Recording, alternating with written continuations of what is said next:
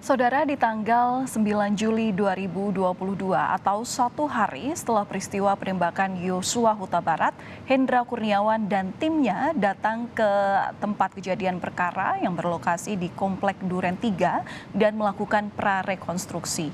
Di hari yang sama tersebut, 9 Juli 2022, terdakwa Agus Nurpatria mengabari Hendra bahwa CCTV di Komplek Duren 3 sudah diamankan dan dikoordinasikan koordinasikan dengan tim penyidik. Kemudian setelah itu eh, pemeriksaan terhadap saksi-saksi dilaksanakan di Biro Paminal oleh penyidik Jaksel.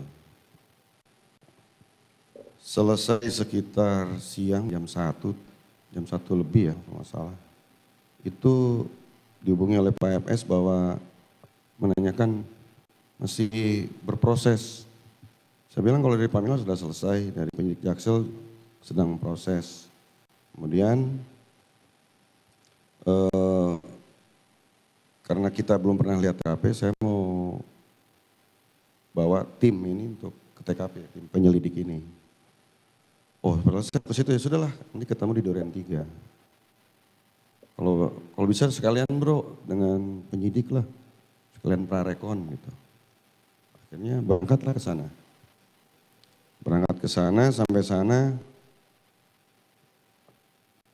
datang semua penyidik, saksi, terjadi prarekon itu.